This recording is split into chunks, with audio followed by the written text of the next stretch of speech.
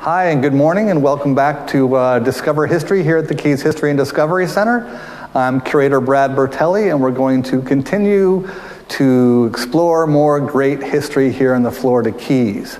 Now, Erin is manning the uh, Facebook page, so if you have questions you want to ask, uh, feel free to type them in and we'll get them live. Otherwise, I will answer your questions if you have any uh, later on this afternoon when I get back to the office.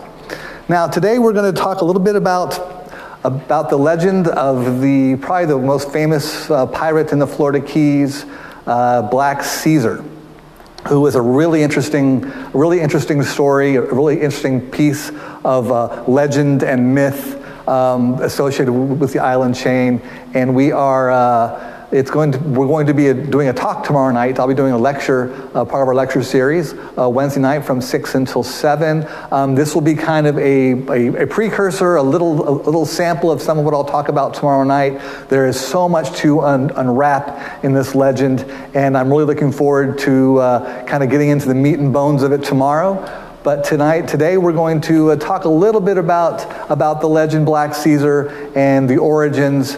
And uh, what's really interesting when you talk about pirates, uh, you know, instantly the, the, the, most famous of all the pirates, Blackbeard, um, you know, comes to mind you know, most rapidly. But what's uh, really interesting is for all of the history and the stories and the legends and the myths about pirates, their careers were really, really short. Blackbeard uh, was only active for like two years, which was pretty common for pirates operating during the golden age of piracy. Uh, you know, uh, Anne Bonny and Calico Jack Rackham, all these, all these pirates really only ruled or, or, or were around for two or three years, 18 months. Um, there was one example of um, of, a, of, a, um, of, a, a, pirate. I can't think of which one it is, but he had a career of like seven or eight years, which was really unheard of uh, for the age in the age of piracy. And what is interesting about Black Caesar for being as famous or really as infamous as he is here in, in Florida Keys culture, uh, in Florida Keys lore, is how long his career seemed to be.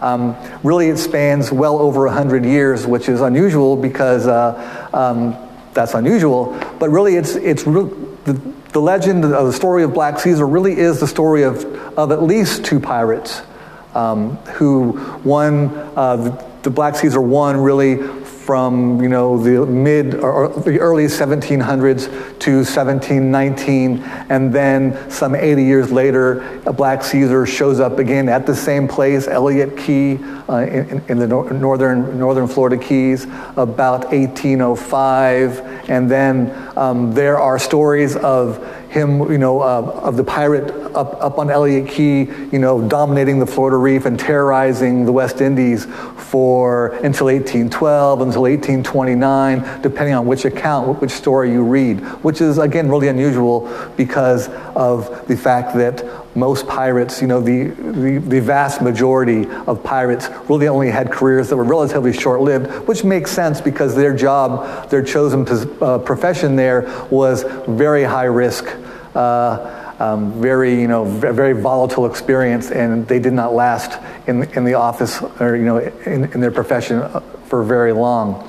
Um, what's also interesting about the Black Caesar account is that for all his infamy, for all the bloodlusting and and, and the and you know this massive hulk of of a pirate who ruled, you know, you know, who ruled the, the Florida Keys and the, and the Florida Reef for, for so long, and who was so, you know, uh, aggressive and, and, and successful. Um, where was that there are really there are no accounts from his time uh, there, are, there are no accounts of, of, of, a pirate named Black Caesar in, during the first incarnation of this legend uh, from the early 1700s. Um, there's, you know, and, and then again, in, in the second half of his career, the, the, the Black Caesar too, again, there are no accounts from the time of a pirate named Black Caesar roaming the area, whether it be Elliott Key, the Florida Keys, the West Indies, or, or anywhere which really makes um, for some great, some great research, some great storytelling. Um, all of the accounts of, of, of the pirate, the legendary pirate Black Caesar, really are tales that are told after the fact, or rumors that were, that were passed around.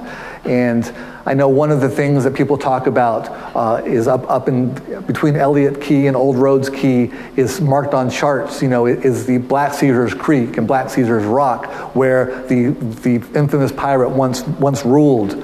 One of the really interesting parts about that part of the tale was that it took 50 years for 50 years after the, the alleged hanging of Black Caesar, the first, the first version, um, in 1719. It took 50 years before his name actually, the, that the name Black Caesar actually comes into print. And that is on a chart done uh, in, in 1770, 1770, in the 17, early 1770s. Um, and that, that, putting that name down, you know, it, what it means is that there was a story of, of a Black Caesar the, of, of, a pirate that was being passed around the local community, the, bah- the Bahamians, sailors, and the, and, and the, people, you know, around the, um, the Florida Keys in the, in the 1700s, late 1700s. So there was some story of a pirate named Black Caesar. Otherwise, this name, Black Caesar's Creek, would never have shown up on a chart.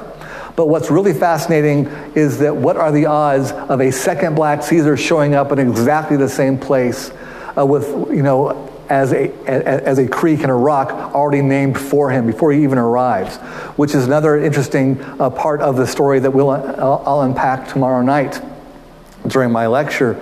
And uh, it's really, it really is, between the two of them, it really is one story given to two pirates that spread out over a hundred years. You know, they, they both end up uh, on Elliott Key where they are, you know, running this, uh, this, um, this, you know, this pirate reign of terror. Um, both, both accounts uh, take, you know, are, are, have, have the, have the um, pirate being an ex-slave. Um, both accounts involve um, a uh, buried treasure on, on, the, on the island of Elliott Key that people still look for, that you know, people have never really found. There are some stories of treasure being dug up on Indian Key, in, or I'm sorry, on Elliott Key um, in, the, in the 1800s. Again, these are all secondhand stories, nothing verifiable from a, from, from, from a, you know, from a, a, a, a true accountable source. It's all secondhand. It's all, well, I heard this story of, I heard that story of. Um, and there are really, you know, there are there are so many different versions of the story that, that go beyond Elliott Key and, and the reign of, of, of the Florida Reef and, and uh, the bearing of treasure. There's always a woman involved. There's always the pirate, um, in both accounts, you know, having captive women kept on, on Elliott Key and this, you know, and, uh, and but, but there's no archaeological evidence. There's no firsthand accounts. There's no primary sources talking about what was happening at the time. And there was, you know, primary sources and people talking about so many other pirates in the area. But for some reason, this one legendary pirate Black Caesar really gets no press um, during his reign, either, either versions of his reign. All his press comes after the fact of secondhand storytelling. And these are some of the things that we will talk about tomorrow. Um, really is a fascinating subject. It's a great example of legend and lore really taking and putting a foothold in the Florida Keys, you know, culture and Florida Keys, um, the mindset about uh, when you think of the islands, you would think that piracy and the, and the, islands would go together like rum and lime, but they really, there really are very, very few instances of piracy, you know, of pirates on the Florida Keys themselves. There is a great map um, that was put together uh, and, and, it, and, it, has over 89, um, 89 um, uh, attacks from pirates on American vessels from 1818 to 1825. And there, some of these accounts are bloody and they're horrendous.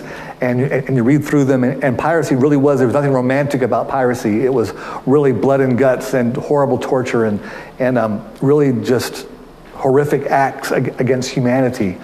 But there are of these 89 events of piracy in, the West Indies, in this area, only one mentions the Florida Keys. And even in, that instance, it's not the Florida Keys themselves, but it's the island chain, but, but, but it's the waters off of the island chain. And that is another great, uh, another great uh, a story about, you know, the, about legend and, and, and, how it kind of takes over, how it takes over uh, the mindset and the culture and the magazines and the stories. It's such a, you know, it's such, such a romance with, uh, with piracy that really has no, you know, Johnny Depp and the Pirates of the Caribbean, the, that show really represents a really absurd version of piracy. Um, when you look at the nuts and bolts and, and, and, and how life was for, for these men out on the sea. And um, so we're looking forward, uh, I'm looking forward to um, for to, to, tomorrow to tomorrow night's lecture. If you've not registered for it, it's free for, for members. It's only five dollars for non-members. There's a link on our Facebook page that you can uh, follow to register for the program. You can also go to keysdiscovery.com under our events tab, and there's there'll be a link there to uh, to register for the for the lecture. I'll be taking lots of questions. I'll be unfolding uh, stories about not one, not two, not three, but four different versions of Black Caesar, uh, three in this hemisphere and, and, and one in, in, a whole different hemisphere that actually links back to the, the legend of, of Black Caesar in, in, a really kind of unique and interesting way. And so we hope to see you tomorrow night when I'm doing the lecture on Black Caesar, uh, Myth, Pirate, Legend, or uh, I'm sorry, Myth, Legend, Man. I can't, I can't remember the title. but uh, please join in and, and, and, and, uh, and, and, we hope, hopefully we'll see you next uh, tomorrow night. I'll be taking a break, so this is my last uh, Facebook Live for the next three weeks. Erin will have to be doing something interesting in my place, and we will uh, help her do that. So uh, look forward to seeing you tomorrow night, and if not, have a great day, and, and we'll, we'll talk at you in a couple more weeks. Thank you.